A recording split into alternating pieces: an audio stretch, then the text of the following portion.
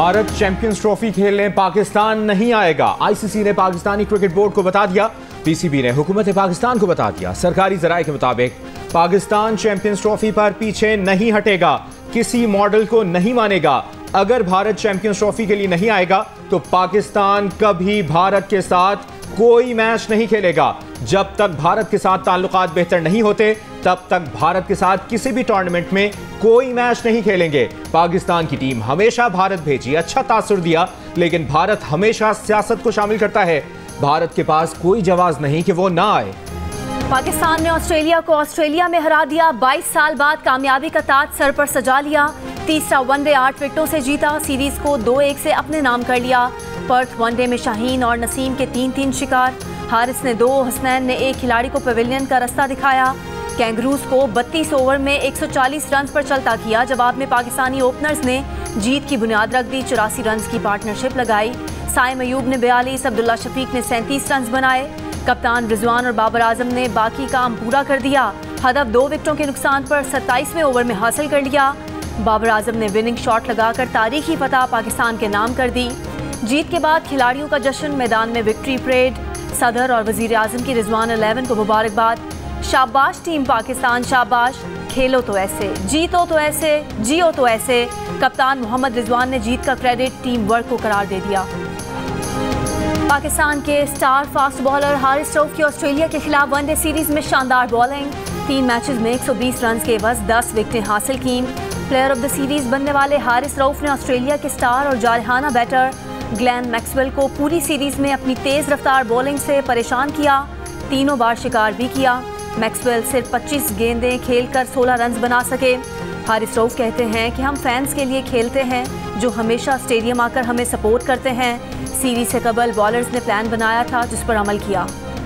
भारतीय cricket team के कप्तान रोहित शर्मा का कहना है कि पाकिस्तान जाने या ना जाने का फैसला हमारे हाथ में नहीं है। दोनों बोर्ड्स ये फैसला करेंगे। हमारी तवज्जो चैंपियंस ट्रॉफी पर है। अगर भारतीय टीम को पाकिस्तान भेजा जाएगा तो हमें कोई इशू नहीं है।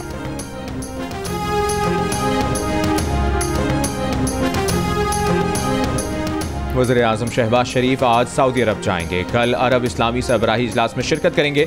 वजर अजम शहबाज शरीफ मशरक वस्ती की सूरत हाल पर कॉन्फ्रेंस में शिरकत करेंगे। कॉन्फ्रेंस में फ़लस्तीन और लबनान समेत खत्े की सूरत हाल का जायजा लिया जाएगा। इस्लामी ममालिक के रहनुमा मशरक वस्ती की सूरत हाल पर तजावीज़ पेश करेंगे।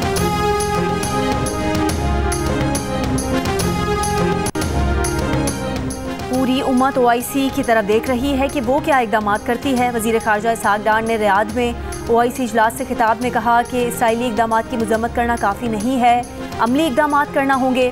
इसराइल के जारहाना इकदाम का दायरा लबनान, इराक, शाम और ईरान तक फैल चुका है।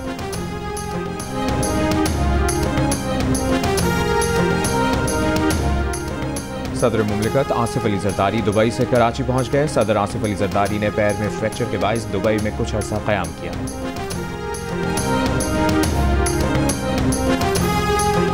सबक वज़ीर खजाना मफ्ता इसमाइल ने कहा है कि शहबाज शरीफ और इसहाक डार का पी आई ए की निष्कारी का ना इरादा है, ना नीयत है। पी आई ए की निष्कारी में मुश्किल शराय डालकर संजीदा खरीदारों को भगाया गया। ये दावा भी किया कि बिजली की किसी डिस्ट्रीब्यूशन कंपनी की निष्कारी भी नहीं होगी। ये इख्तियार अपने पास रखना चाहते हैं।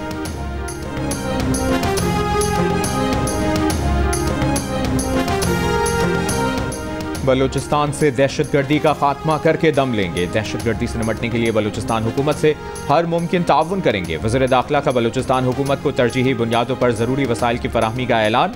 वजर अला बलूचिस्तान सफराज बुकटी ने कहा कि विफाकी हुकूमत के ताउन से पुलिस और लेवीज़ की पेशा वराना इस्तेदाद बढ़ाने के इकदाम करेंगे।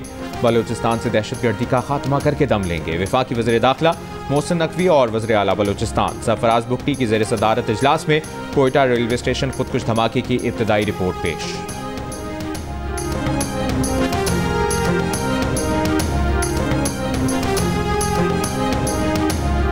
पंजाब में स्मॉग की शिदत में मामूली कमी, दिन चढ़ने के बाद मुल्तान एक बार फिर पाकिस्तान का आलूदा तरीन शहर बन गया।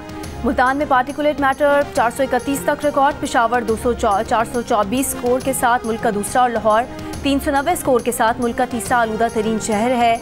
रावलपिंडी दो सौ चौवन स्कोर के साथ मुल्क का चौथा आलूदा तरीन शहर है। सुबह में लाहौर, पाँच सौ छियासी पार्टिकुलेट मैटर्स के साथ मुल्क का आलूदा तरीन शहर था, मगर दिन गुजरने के बाद सूरत हाल बेहतर हुई। दुनिया के बड़े शहरों की एयर क्वालिटी इंडेक्स में लाहौर बदस्तूर आलूदा तरीन शहर है। माहरीन का कहना है कि फ़ज़ा का ये मैार इंसानी सेहत के लिए इंतहाई नुकसानदेह है।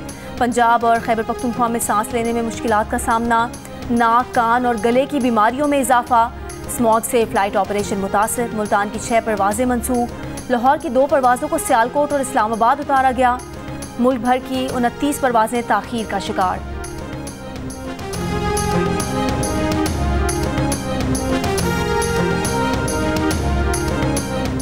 धुआँ छोड़ती गाड़ियाँ बंद की जाएँगी। प्राइवेट गाड़ियों के मालिकान को सात दिन का अल्टीमेटम धुआँ छोड़ती गाड़ियों की सर्विस यकीनी बनाए, वरना भारी चालान होगा। सेक्रेटरी ट्रांसपोर्ट अहमद जावेद काजी की वार्निंग शहरियों को वन फाइव पर धुआँ छोड़ती गाड़ियों की इतला देने की हिदायत।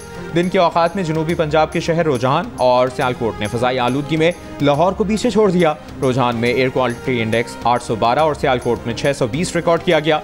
सीनियर वज़ीर पंजाब मरियम औरंगज़ेब ने कहा कि स्मॉक के खात्मे के लिए पूरे मुल्क और हर शहरी को जद्दोजहद करना होगी। मास्क समेत तमाम एहतियाती तदाबीर इख्तियार करना होगी।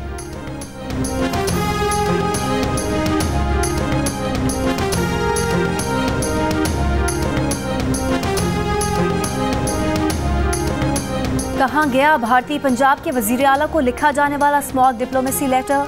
क्या तालीमी इदारे और मोटरवेज बंद करने से स्मॉक का खतरा टल जाएगा? पीपल्स पार्टी वस्ती पंजाब की जनरल सेक्रेटरी हसन मुर्तज़ा का हुकूमत पंजाब से सवाल। कहा कि तख्ते लाहौर वाले माहौलियाती आलूगी पर भी काबू पाने में नाकाम है। मसनू बारिश बरसाने के बयान सुन सुनकर अब तो कान पक गए हैं। हुक्मरानों को अपने हेल्थ सिस्टम पर एतबार नहीं, इसीलिए जिनेवा गए हैं।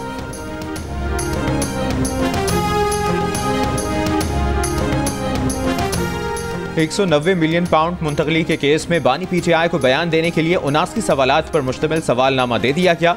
बानी पीटीआई से पूछा गया है कि फरहत शहजादी ने बतौर बुशरा बीबी की फ्रंट फ्रंटमैन 240 केनाल ज़मीन हासिल की। 190 मिलियन पाउंड मुंतकली में स्टेट बैंक, दफ्तर खारजा और लंदन में पाकिस्तानी हाई कमीशन से मुशावरत नहीं की गई। वजारत कानून से भी कोई राय नहीं ली गई। गवाह परवेज खटक के मुताबिक, काबीना अरकान ने माहदे के मंदरजात पर एतराज़ किया, मगर काबीना को बताया गया कि माहदा खुफिया था। गवाह जुबैदा जलाल के मुताबिक, काबीना अजलास में एडिशनल एजेंडा आइटम के कवायद पर अमल नहीं किया गया। गवाह आज़म खान के मुताबिक शहजाद अकबर ने बताया कि वजी अजम ने माहिदा काबीना के सामने पेश न करने की इजाज़त।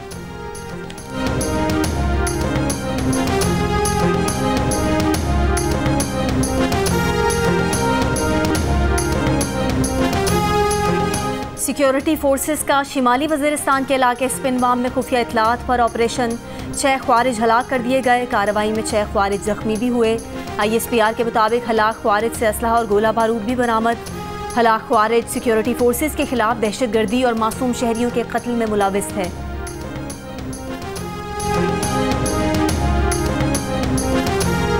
वजी अजम की शुमाली वजरस्तान में फितनल खवारिज के खिलाफ कामयाब ऑपरेशन पर सिक्योरिटी फोर्सेज की पजीराई कहा दहशत गर्दी और इंतज़ार फैलाने वालों के खात्मे के लिए कौम सिक्योरिटी फोर्सेज के शाना बशाना है। वजी दाखिला का शिमाली वजरस्तान में खवारजियों के खिलाफ कामयाब ऑपरेशन पर सिक्योरिटी फोर्सेज को खराज तहसीन। कहा, सिक्योरिटी फोर्सेज ने बर वक्त कार्रवाई करके खवारजी दहशत गर्दों के मजमू मजाइम नाकाम बनाए। कौम को बहादुर सिक्योरिटी फोर्सेज पर नाज है। दहशत गर्दों को कहीं छुपने नहीं देंगे। कौम की हिमायत से दहशत गर्दों का सफाया करेंगे।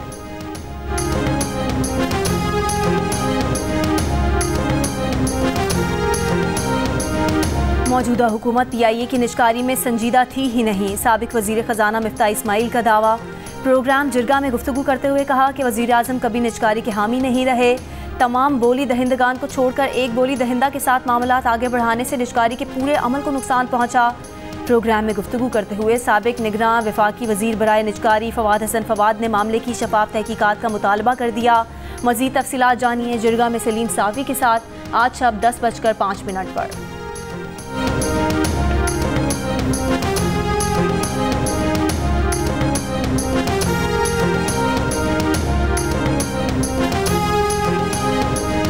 डीजी पासपोर्ट मुस्तफ़ा जमाल खाजी का कहना है कि पासपोर्ट फ़ीस में इजाफे की खबरें बेबुनियाद हैं। पासपोर्ट फ़ीस में इजाफे की कोई तजवीज़ से रिकॉर्ड नहीं। पासपोर्ट की फ़ीस में आखिरी मरतबा इजाफा इस साल अप्रैल में किया गया था। पासपोर्ट की फ़ीस में आखिरी बार इजाफा भी दस साल बाद किया।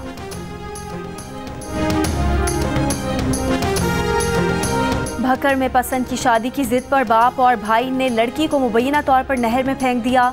पुलिस के मुताबिक गुजशत रोज बाप और भाई ने पसंद की शादी की जिद पर लड़की को नहर में फेंका। बाद में खुद मोटरसाइकिल नहर में गिरने की इतला देकर वाक़े को हादसे की शक्ल देने की कोशिश की। लड़की की तलाश के लिए रेस्क्यू ऑपरेशन जारी, मुलजिमान गिरफ़्तार, मुकदमा दर्ज, तहकीकात जारी।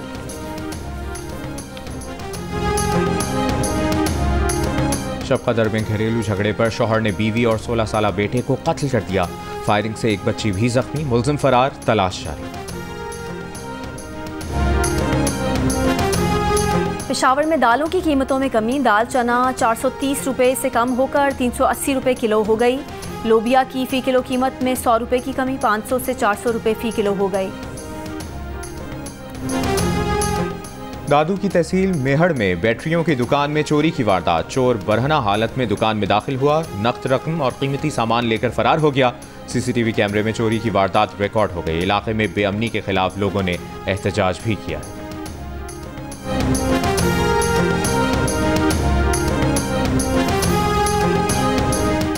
गाजा में इसराइली हमले जारी। 24 घंटों में तेईस फलस्तीनी शहीद, मगरबी किनारे में भी दो फलस्तीनी शहीद। शहदा की मजमू तादाद तैंतालीस हज़ार पाँच सौ आठ हो गई। इसराइली फ़ौज के लबनान में हमलों से 24 घंटों में बावन शहरी शहीद। गजा के लिए जंगबंदी के माहदे पर पेशरफ न होने पर कतर ने इसराइल और हमास के दरमियान सालिसी की कोशिशें आर्जी तौर पर रोक दी। बरतानवी नशरियाती इदारे की रिपोर्ट के मुताबिक कतरी वजारत खारजा का कहना है कि कतर सालिसी की अपनी कोशिशों को उस वक्त दोबारा शुरू करेगा जब दोनों फरीकैन जंग के खात्मे के लिए अपनी आमादगी और संजीदगी का मुजाहरा करेंगे। कतर की वजारत खारजा के मुताबिक उन्होंने दस दिन पहले फरीकैन को मुतला किया था कि अगर मुजाकर के रवा दौर के दौरान कोई माहिदा नहीं हुआ तो कतर हमास और इसराइल के दरमियान सालिसी की अपनी कोशिशें रोक देगा। चेयरमैन पीसीबी मोहसिन नकवी ने कहा है कि तारीखी जीत पर तमाम खिलाड़ी और मैनेजमेंट तारीफ़ की मुस्तक हैं। सबक कप्तानों वसीम अकरम और वकार यूनुस की पाकिस्तानी टीम को ऑस्ट्रेलिया में सीरीज़ जीतने पर मुबारकबाद।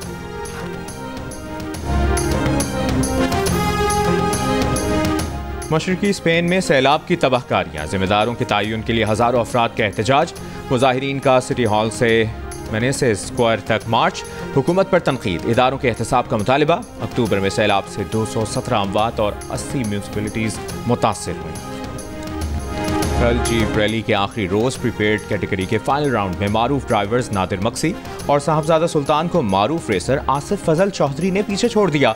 आसिफ फजल ने सबसे कम वक्त में फासला तय किया। साहबजादा सुल्तान की तीसरी पोजीशन रही। शदीद स्मॉक के बाईस प्रीपेड कैटेगरी की रेस चार घंटे चालीस मिनट की ताखिर से शुरू हुई। ट्रैक को भी 200 किलोमीटर से कम करके 30 किलोमीटर कर दिया गया था।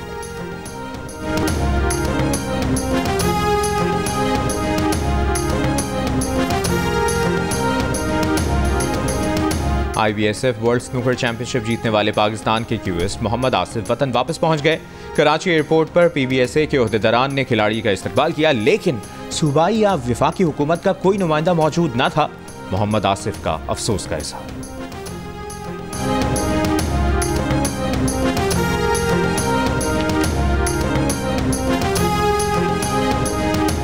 सऊदी विमेन फुटबॉल लीग में पाकिस्तान की फुटबॉल टीम की कप्तान मारिया खान का फ्री किक पर बनाए गए गोल की वीडियो वायरल।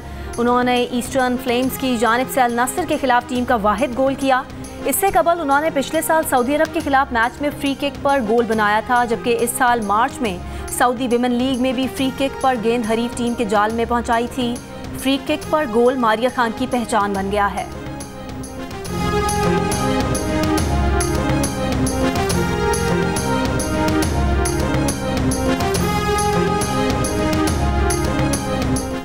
स्टेज ड्रामों की दुनिया के नामवर नाम सैयद फुरकान हैदर डेलिस में इंतकाल कर गए। उन्होंने मोइन अख्तर और उमर शरीफ जैसे फनकारों को रोशनास कराया। बकरा किस्तों पर मुसीबत दर मुसीबत जैसे ड्रामे बनाए। मुल्तान में हज़रत शाह रुकनुद्दीन आलम के उर्स का आखिरी रोज मुल्क भर से जायरीन की बड़ी तादाद इख्तामी दुआ में शिरकत के लिए पहुँच गई। प्रदीप भाई ऐसा है कि एक बार जेल जा चुके हैं प्लीज़ कोई नहीं मैं दो बार जा चुका हूँ। गेम से बात तो शरीफ सी छवि है मेरी मैं तो ये कौन से डाके डालने निकल जाते हैं? ये भी शरीफ ही लोग हैं यार। जैसे आप लद्दाख का बोल रहे हो। डेलीगेशन ये डेलीगेशन का मोटो क्या है पाकिस्तान आने का? पीस कितने पीस कितने पीस वर्ल्ड पीस अमन। और आप चाहते हैं कि ये लोग लड़ लड़ के पीस करें? जी। करें बात। 26 सेकंड में आप माशाल्लाह सबमिट करा चुके हैं। जी जी एक मेरा रिकॉर्ड है। रफीक भाई आपने 26 सेकंड में क्या क्या किया हुआ? है? इस शिकर में तो सिर्फ़ सांस लेना भी नहीं होता कहाँ से ले रहे हो आप सांस? पाकिस्तानी और भारतीय फाइटर्स हंसना बना है कि सेट पर गुत्थम गुत्था क्यों हो गए? 26 सेकंड्स में नॉकआउट करने वाले फाइटर ने ताबिश हाशमी को क्या चैलेंज किया? भारतीय फाइटर्स पाकिस्तान आने से पहले खौफजदा क्यों थे? मिलिए एमएमए मुकाबलों के पाक भारत फाइटर्स से प्रोग्राम हंसना बना है में। आज रात 11 बजे सिर्फ़। जियो न्यूज़ पर। रब करे तेन खापा अंदर नजरी आउन बढ़ावे बिजली तेरी बंद रवे पर बिजली दा बिल आवे तेनू जेड़ी आवे शाला रह जैन नेछ दूरी मगरों लवे न तेरे भावे मारे ओनू पक्की शाला तेरे नक् दे उत्ते लुटियाँ पावे मखी इस्लामाबाद में लिटरेचर फेस्टिवल का आज तीसरा और आखिरी रोज। दूसरे रोज शायर अनवर मसूद ने अपने मखसूस अंदाज में तंजो मिजाज से महफिल लूट ली। लिटरेचर फेस्टिवल में कुतुब मेले का भी इनका किया जा रहा है। सकाफती परफॉर्मेंस, मौसीकी, रक्स और दीगर फ़नून भी फेस्टिवल का हिस्सा हैं। यहाँ हम सिंधी का आज बहुत यहाँ फोकस रहेगा। हम सिंधी राइटिंग के अवार्ड देंगे। उर्दू का भी देंगे। Urdu writing award English writing award और साथ साथ हम एक सेशन करेंगे शाह लतीफ़ के कलाम पर और सिंधी के गाने गाए जाएँगे। इस दफ़ा हमने एक तब्दीली ये लाई है, हम लाए हैं कि हमने नौजवान को बहुत बड़ा रोल दिया है। ये नहीं कि वो आके ऑडियंस में बैठें, बल्कि स्टेज पे आए मॉडरेटर बने स्पीकर बने।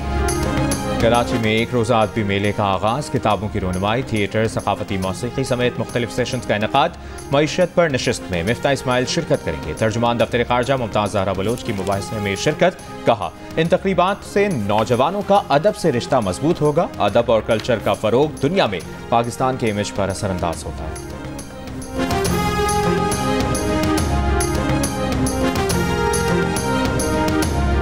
मैं लास्ट ईयर भी यहाँ आई थी और मुझे इसलिए खुशी है कि यहाँ पर बहुत सारी इंटरेस्टिंग और इम्पोर्टेंट लोगों के साथ, जिनका, जिनकी कॉन्ट्रीब्यूशनस हैं, तालीम में अदब में, उनके साथ मुलाकात करने का मौका भी मिलता है।